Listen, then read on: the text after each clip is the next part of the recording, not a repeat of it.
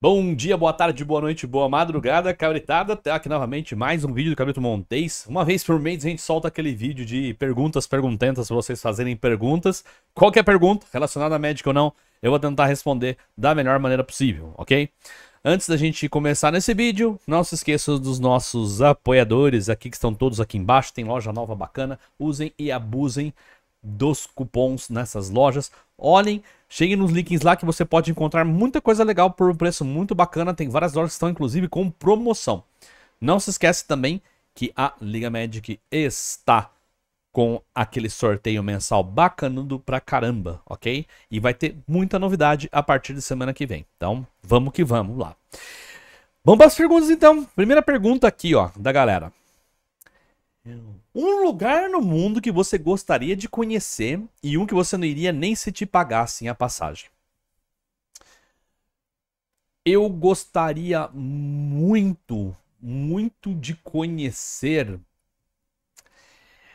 Cara, eu acredito que eu gostaria de conhecer aquela parte central da África ali, sabe? Que é até meio negligenciada pra galera, sabe? Eu queria conhecer bastante cultura diferente, que normalmente por diversos motivos, nós não vamos citar aqui, mas é, a, normalmente a cultura pop ou a, a, galera não fala muito e são lugares bem bacanas com culturas bem legais. A, ali a parte, a parte norte, mais indo pro meio da África, sem chegar na África do Sul, porque a África do Sul já é mais, mais batida, né? Já é mais civilizada. Eu queria uma coisa mais nessa na, civilizada no sentido parecido com a nossa civilização ocidental, não que não tenha civilização no meio da África, né? Mas enfim, eu queria conhecer essa parte central. Agora, um lugar que eu não não iria nem que me pagassem, cara. Ah, é difícil. É difícil. Mas eu acho que eu não iria para aquela parte mais redneck dos Estados Unidos, sabe? Aquela parte que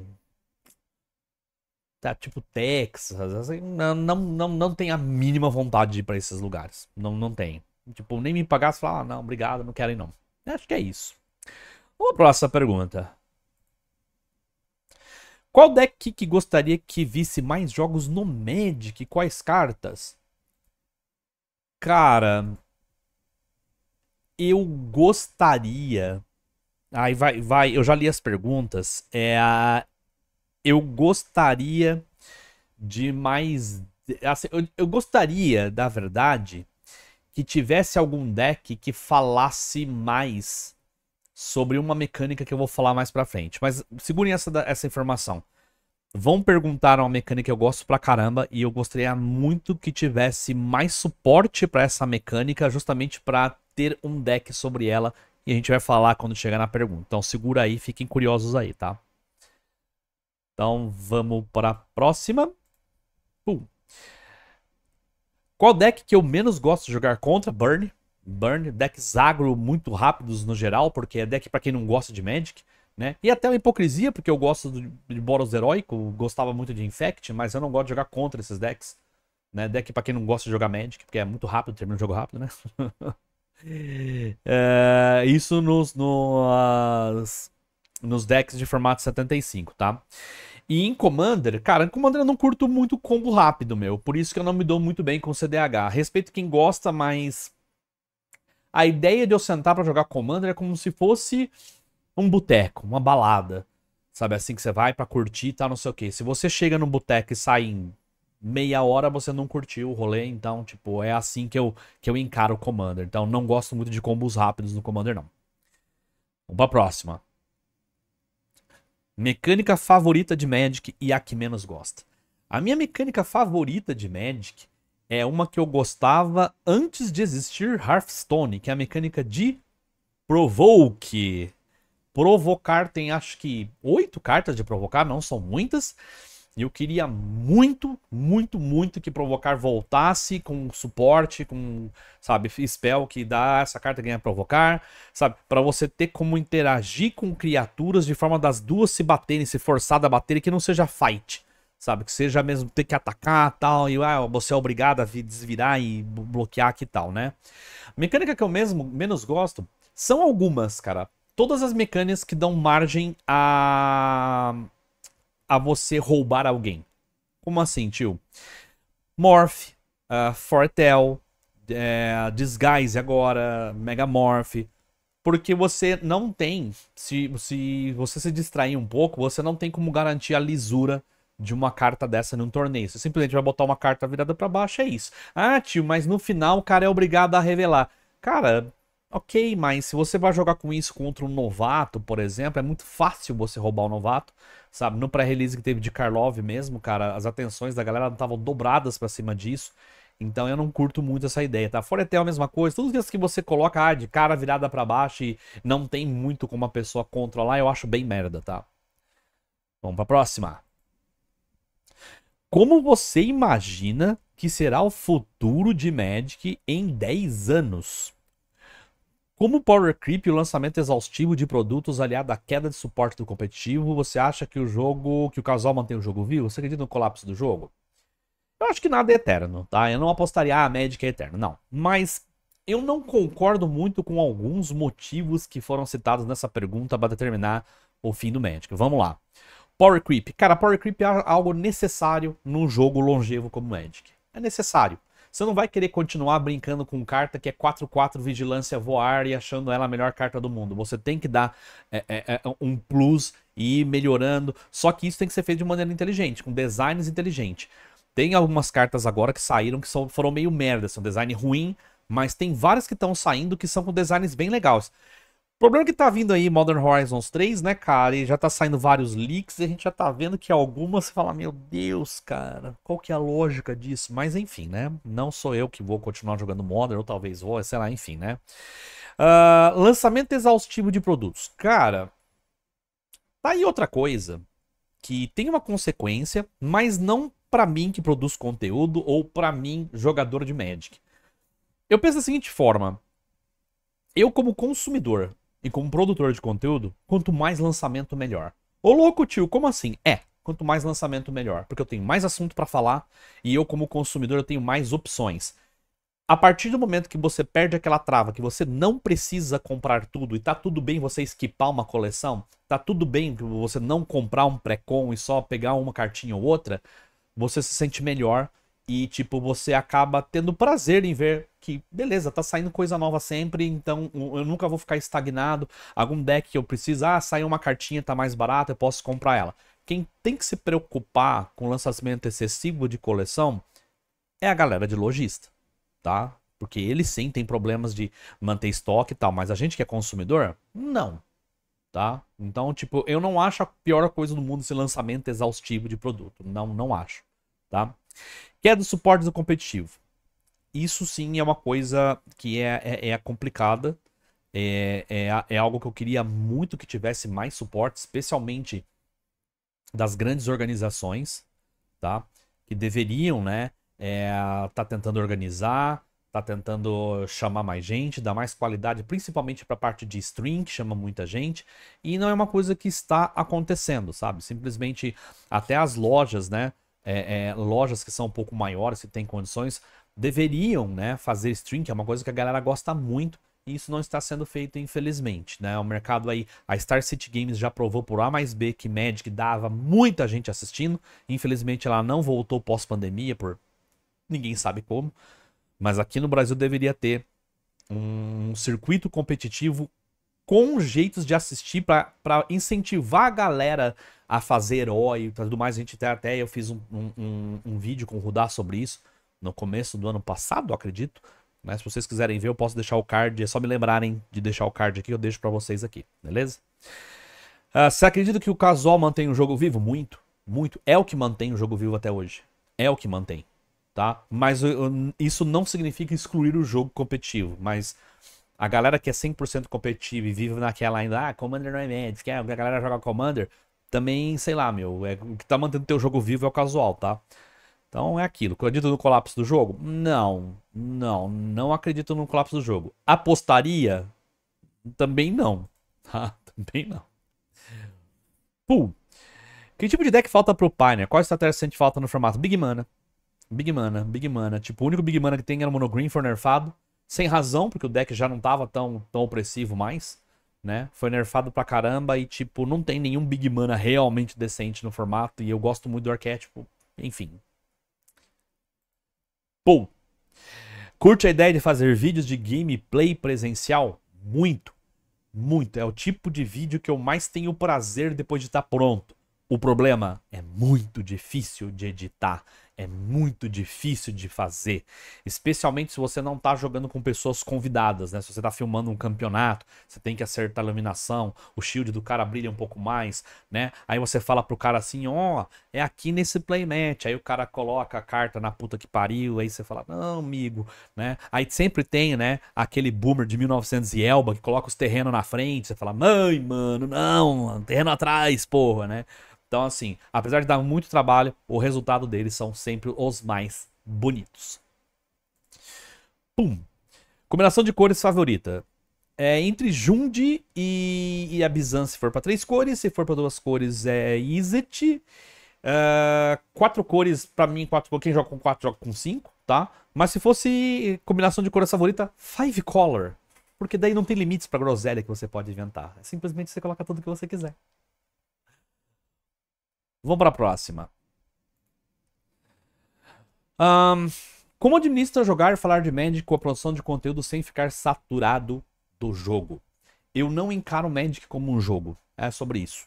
Sabe, eu jogo, mas eu gosto de fazer minhas groselhas. Eu não estresso com o jogo, tá? Tipo, se tá me enchendo o saco, eu jogo outro formato, eu vou para outro lado. Até por isso que eu diminui muito a quantidade de Modern que eu jogava, porque basicamente com Modern Horizons 2 todos os meus decks morreram, todas as interações para mim ficaram extremamente sem graça, né?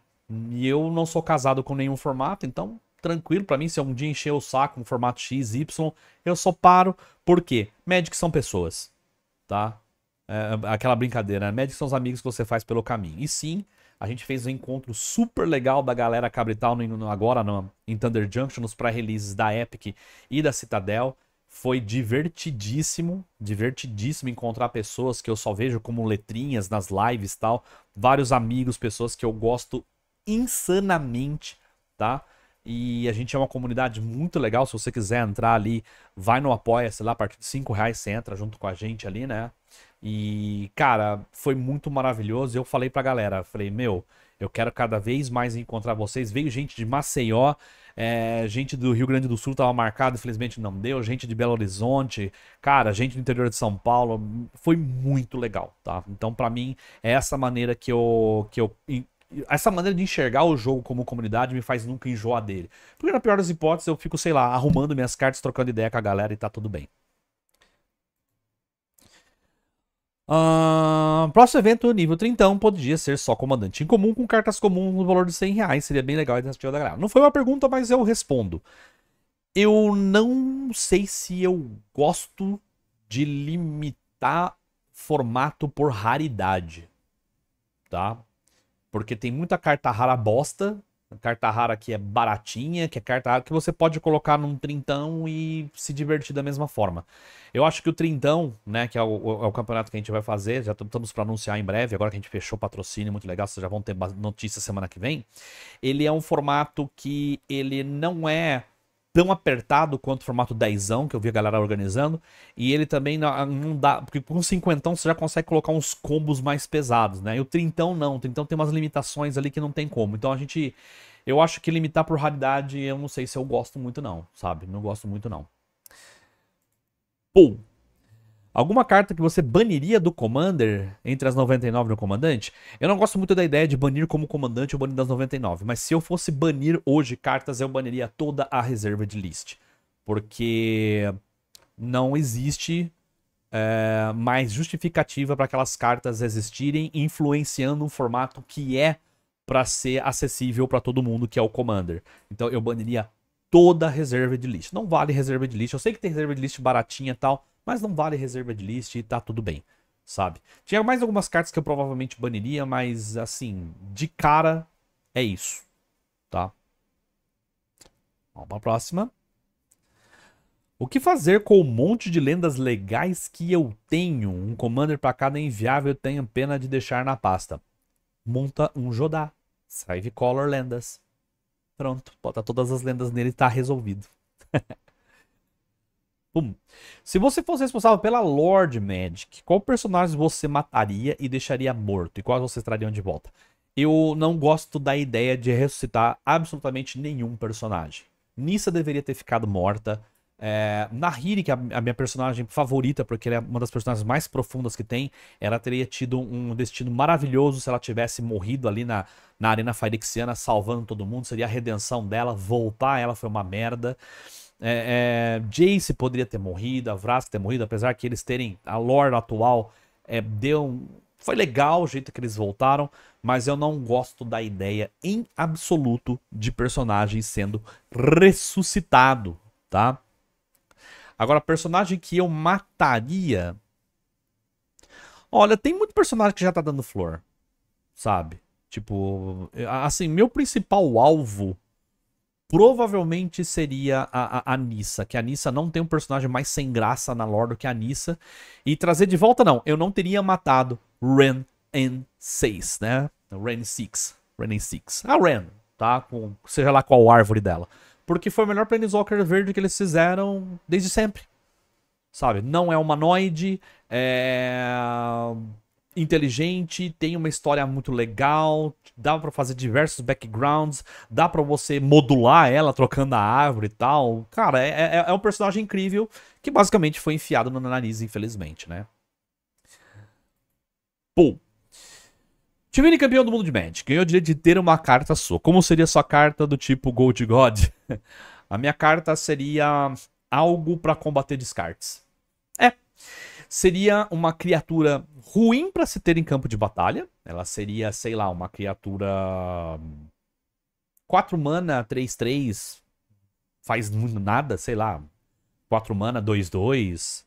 Só que a habilidade dela é o seguinte: se alguma habilidade controlada por oponente fizesse você revelar ou descartar uma carta, ao invés disso, você revela a, apenas essa criatura e pode colocá-la em campo de batalha. Então alguém deu top season em você, você revela essa criatura, não mostra a mão, você revela a criatura, coloca em campo de batalha.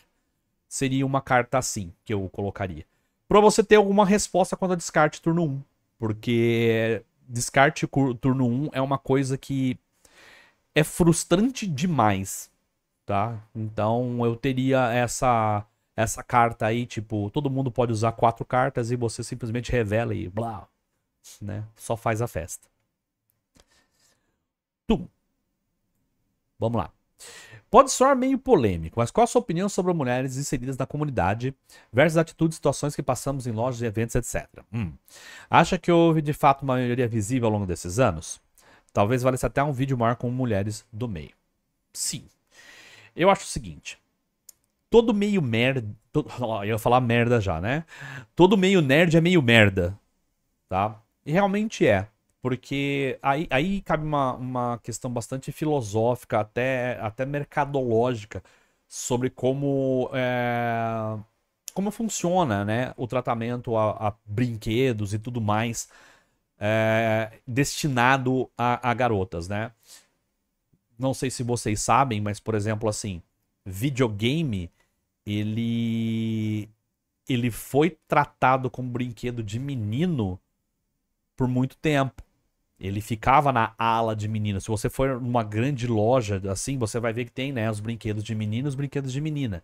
E videogame sempre foi tratado por isso. Por isso que o, toda, todo esse meio nerd advindo de jogos, ele é muito mais intrinsecamente ligado historicamente a meninos. Isso é uma merda, tá? E acaba, né, é, se ligando diretamente a machismo. Daí vem machismo estrutural, o caramba 4, a gente aí como, né, dar-lhe até um vídeo maior com mulheres no meio, realmente, porque a gente tem, tipo, é, é um negócio muito amplo. E antes que alguém venha e fale, ai, tio, isso aí é da agenda woke, nhenhenhé, nhenhenhé.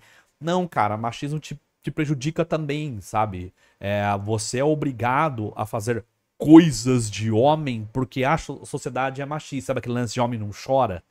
Sabe? Então, é um exemplo de machismo que te prejudica mesmo sendo homem. Só que isso pra mulher é muito pior.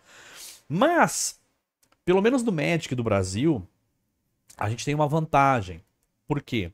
Porque quando a gente começou a fazer produção de conteúdo, eu me insiro nisso, né? Porque eu sou dos mais antigos, não sou o mais antigo, não, não sou da primeira leva mais antiga, né? Porque a, a leva mais antiga é Carol Moraes, é Henrique, é André Manente e Elba, né? São os mais antigões que fizeram, começaram a fazer conteúdo com tudo era mato. Aí depois veio eu, Thiago, né? Tinha o Clots na época e tal. E todo mundo, a gente tinha muito essa noção de que é impossível a gente fomentar toda e qualquer coisa relacionada a machismo ou tratamento ruim que se dá né, a, a meninas.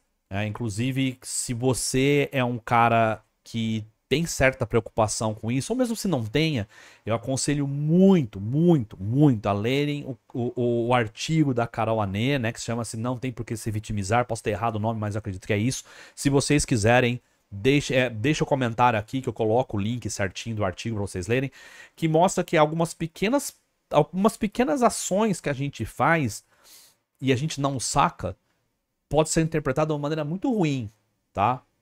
E, e é legal que a gente dessa produção de conteúdo antigo, a gente nunca deu pelota para qualquer coisa que escapasse para essa linha de machismo, né? Não estou falando que não tenham né, produtores de conteúdo escrotos, que tem, infelizmente tem, né?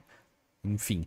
Mas esses produtores de conteúdo, basicamente, eles, eles são nosso filtro, né? Eles pegam todas aquelas pessoas que não tem salvação mais, aqueles caras, né? E condicionam só para assistir os vídeos dele e vão com Deus, sabe? Vão com Deus, vocês não fazem falta, tá? É, enfim. Mas a maioria de nós tem essa preocupação em sempre tentar fazer o ambiente de Magic ser um ambiente inclusivo e tal. E isso deu frutos bons, né? Porque depois de um tempo começaram a aparecer várias produtoras de conteúdo, especialmente no Instagram, que é uma mídia muito mais ela é muito mais dinâmica, né, que o YouTube. Começou a aparecer muita produtora de conteúdo, conteúdo muito legal. Eu não vou citar a galera, senão vou esquecer alguém, eu vou ficar chateado com isso, tá? E assim, é, são, são essas meninas, cara, que estão fazendo o conteúdo de Magic ficar, acompanhar, né, esse dinamismo. Porque quer queira, quer não, eu faço conteúdo de YouTube faz 10 anos, na Twitch faz 8. Então, assim, é, eu não sou uma pessoa atual, digamos assim, né? Nenhum de nós que faz conteúdo só, YouTube only, é, é basicamente muito atual, né? Então, eu acho que essa coisa da, da, da nossa comunidade de Magic ser um pouco mais consciente de não ser machista ou, ou ser babaca com qualquer minoria, trilhou alguns caminhos que permitiram a, a, os produtores de conteúdo mais novos terem um pouco mais de segurança em fazer seu conteúdo, tá? É perfeito? Longe disso, porque, como eu disse, é um. É muito. É muito arraigado essa coisa de, de machismo e ismos de minoria na nossa comunidade nerd, tá? Na comunidade nerd no geral. Mas Magic tá um passinho à frente do restante e eu fico bem feliz com isso, tá? Vamos para a próxima. Como foi quando você descobriu que seria pai? Ficou muito feliz, preocupado, com medo? Alguma dica para quem pensa em ter filho no futuro? Ok, vamos lá, são partes.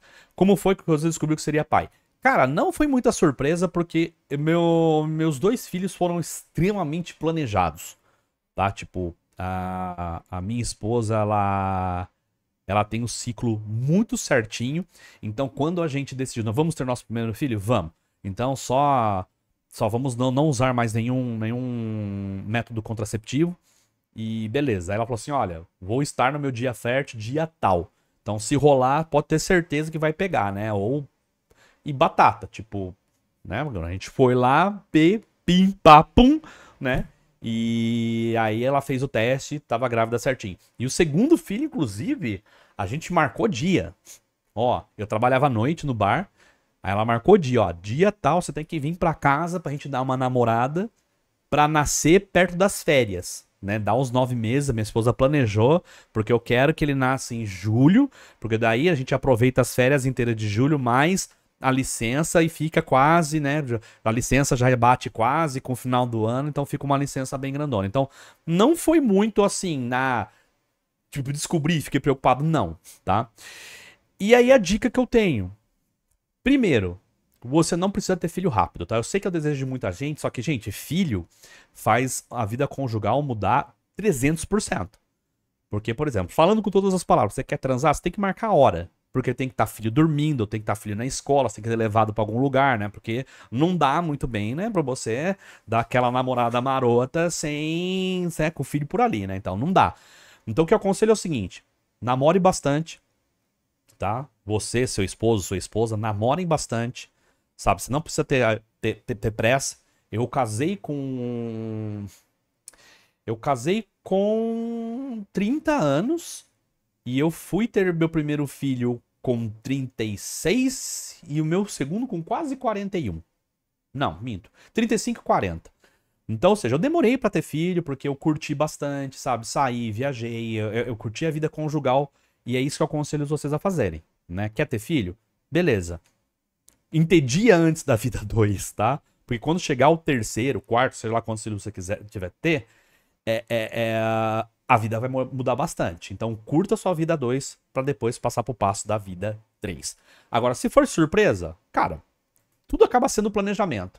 Ah, te escapou, acabei de ter filho. Beleza. A partir daqui, planeje tudo que você vai fazer, compras o caramba 4, porque ter filho é menos difícil e mais caro do que falam, tá? É isso. A próxima.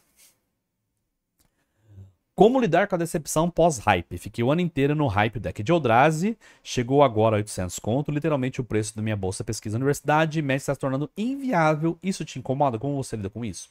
Tá. É, eu lido de algumas formas. Eu. Eu tento entender que. Eu, eu acho que até falei nesse vídeo. Você não precisa comprar tudo. Entendo que às vezes a gente hype uma tribo favorita, alguma coisa favorita, então daí é, é, é legal fazer o planejamento em cima disso para você comprar exatamente o que você quer.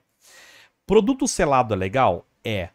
Pré-com é legal para quem está começando? É, mas muitas vezes single é muito mais negócio. Então espera sair o deck, aí você, ao invés de pagar 800 reais, é, eles falaram que o deck são 15 cartas novas. Dessas 15, provavelmente você não vai precisar de todas. Das outras 85 cartas, provavelmente são muito mais baratas do que do que você pegar no pré-com, ok? Então, espera sair, não compra, assim, quer comprar na pré-order? É legal você comprar na pré-order se você consegue bastante desconto ou alguma coisa nessa linha, tá? Porque às vezes tem, tipo, lojas patrocinadoras nossas mesmo tem alguns descontos nas pré-orders. Mas se você não tiver aquele, é, tipo, você já tiver uma pool, espera sair, espera um mês, dois, sabe? As cartas baixam de preço, né? Se não baixar, paciência. Mas eu esperaria sair, é, veria, sabe? perder o hype, aquela coisa do FOMO, que a Wizards of the Coast é, é, é, é super especialista, né? O FOMO é uma sigla para Fear of Missing Out, que é o medo de não ter alguma coisa. E é isso que faz a gente ficar angustiado, sabe? Então tentem se policiar para não cair nessa armadilha do FOMO. Cara, você não precisa ter tudo agora. Entendo que vai sair, está hypado, você quer tal. Calma, segura a onda, toma uma cerveja, sabe? Espera um pouquinho, Sabe? Espera passar um mês, dois, aí você vê. Eu preciso mesmo desse produto? Eu posso comprar cartas específicas só, entendeu? Porque eu já tenho coisa na pool? E assim vai. Sabe? Você não precisa ter tudo na hora. Pensa assim. Vamos para a próxima. Poderia voltar a um gastando certo Pauper Pioneer? Cara, poderia. O problema é que a gente não tem muita opção. Não tem muitos decks que você pode avançar mais porque hoje, infelizmente, né, é, a gente não tem muito mais espaço para decks rogues. Por quê? Porque tá saindo muita carta com valor individual muito alto. Tá? Tipo, a gente, o maior exemplo é Shieldred. Então é aquele gastando certo que você tá indo no Pauper aqui, ó. Você pode jogar com BG alguma coisa né? Tá, tá, tá, tá, tá, tá. Aí pra transformar esse deck num Pauper, você coloca 4 Shieldred. Então não tem um gastando certo, se liga, tipo... Porque todas as cartas individualmente muito, muito, muito boas, em sua grande maioria, são muito, muito caras. Então não tem mais o que dava para fazer antes, aquela progressão meio de boa. São raríssimas as exceções. Eu acho que hoje, se a gente for falar nessa linha, Acho que só um deck Prowess, por exemplo, que você pode, pode começar de boas tal e chegar até lá. Os outros não, não dá muito, sabe? Por isso que foi um, um conteúdo que meio que acabou se esgotando, infelizmente, que eu gostava muito de fazer. Vamos pra próxima. Quando vai ter Boteco Nerd de novo? Essa daí eu conheço, do povo daqui. Boteco Nerd, para quem não sabe, é, quando eu tinha o bar, era um evento que a gente fazia em que a gente trazia várias atrações, né? Teve uma delas que a gente trouxe, tem um colecionador de, de videogames aqui na cidade que é insano, tem tipo mais de 100 videogames, vários raríssimos pra caramba, né? O cara tem tipo Vectrex, que acho que você nunca ouviu falar disso, tem o Virtual Boy, que provavelmente você ouviu falar nisso, sabe que é um trambolho, né? Tem vários fliperamas tal, então a gente fez, né? Exposição com videogames, a gente fez o Boteco Nerd com música, que tem aqui, aqui em Itapeva tem os maiores vendedores de, de, de disco, Itapeva tá cheio das coisas, um dos maiores dele, né? É o Bilesk, se você procurar, né? O Bilesk, fazendo um jabá Bilesk aí. Se você gostar de vinil, você procura Bilesk Discos, né? No Mercado Livre. Ele vende muito disco, negocia muito disco, manda importar tal. Ele é gigante, ele colocou, né? Ele foi o DJ numa noite, a gente fez, né? Uma noite de música e tal. Então a gente fazia no bar, era um dia que o pessoal podia ir lá, aí jogava carta, jogava RPG, ficava curtindo várias dessas nerdices assim, era muito legal. A gente fez algumas edições e todas elas são bacanas. Agora, quando vai ter Boteco Nerd, a gente pode tentar fazer com alguma parceria com algum bar daqui, né? Vai ver que alguém que pega a tocha e leve pra frente, porque era um negócio, um evento muito bacana, tá? Né? Cerveja de nerdice, era legal. Vamos pra próxima. O que dizer das rateadas com tradução em ah, Thunder Junction? Olha, uh, eu apesar de entender que são muito necessárias as traduções, né, muito necessárias, principalmente para quem está começando, tal, né, é, é... infelizmente as traduções para o português não são lá as maiores maravilhas do universo, tá? Tipo, nunca foram, sempre teve problema, a gente teve carta traduzida errada, não era uma coisa incomum de ter uma carta que mudava o sentido, tá? É... Mas eu não acho ruim, não, né, cara? Tipo, por mais estranho que, seja, que fossem as traduções, ah, tinha galera que se beneficiava disso, né? E eu vou sentir saudades, tá? Que às vezes eu gostava de ver alguns nomes em português, né, cara? Era engraçado. Você, Nossa, essa carta chama isso? Era divertido, mas. Enfim, foi-se.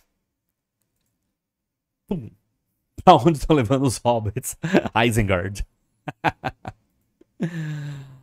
Você acha que esse novo comandante de Eldrazi que vai sair se equipara ao Edgar Markov com a Se você não sabe do que eu tô falando, já teve uma, um leak, né? Já teve um vazamento do comandante Eldrazi. É o Ulalek, que pelo visto é um, um amálgama do Ulamog com o Kozilek.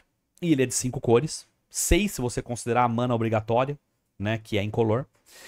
Vai se equiparar de Karma com a conveniência? Não.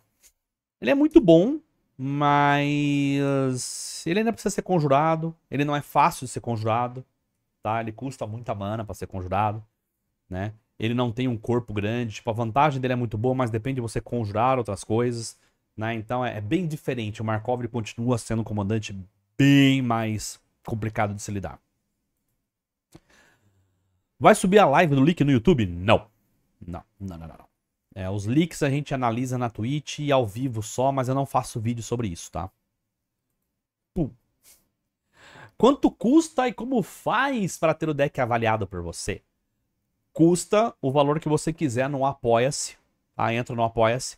É, vai aumentar o valor. Lá no Apoia-se tá como 50 reais, mas não. Você simplesmente entrando no Apoia-se, você pode colocar o seu deck na fila. Demora um pouquinho, mas a gente analisa, tá? E por enquanto tá 5 reais, mas isso vai ser mudado. A gente vai colocar um valor nisso daí. Aproveita para virar apoiador o quanto antes. Beleza? E a última pergunta. Pum. Se eu voltaria a fazer temporadas no mall? Sim. De uma maneira diferente, mas sim. Por quê? É, a gente agora faz parte dos produtores de conteúdo da Daybreak, que é a nova dona né, do Match the Gathering Online. A gente vai ter uma conta não só com todas as cartas, que era algo que a gente já tinha, graças à parceria com a Card Hoarder, é, mas agora a gente vai ter play points, ou seja, a gente vai poder jogar ligas, que era uma grande dificuldade que eu tinha, né? porque eu não tinha tempo de ficar é, é, fazendo play points, né? Porque quando você é um jogador, um grinder, conforme você vai ganhando, você vai ganhando play points você fica, né? É, é autossustentável. Play points é a moeda que você usa para jogar o Magic the Gathering online, né? Então eu não tinha essa, eu não conseguia fazer essa sequência até porque eu só jogava com deck rogue. Agora não. Agora a Daybreak já avisou que vai dar 1500 play points, o suficiente para jogar 15 ligas, né? Ela vai dar de cara e todo final de mês, se a gente cumprir umas metinhas dela, que não é nada difícil, ela vai dar mais mil. Ou seja, a gente vai jogar pelo menos, conseguir jogar pelo menos 10 ligas por mês. E aí é a hora que a gente vai fazer conteúdo voltado a algo parecido que eram as temporadas, ok? Então aguardem, que esse tipo é uma notícia que a galera de Apoia-se já sabe que a gente vai fazer, falando em primeira mão para vocês. E a gente vai também dar um privilégio, a gente vai mudar o nosso apoio, a gente vai dar o privilégio para algumas pessoas que assinarem algum tier mais alto, colocarem um deck próprio para a gente jogar uma liga, tá? O que aí é, é, uma, é um privilégio novo aí para a galera do Apoia-se, beleza? Então é isso, pessoal. Acho que terminamos as perguntas por aqui. 35 minutos, achei que fosse um vídeo rapidinho. Mas enfim, valeu, obrigado. Até.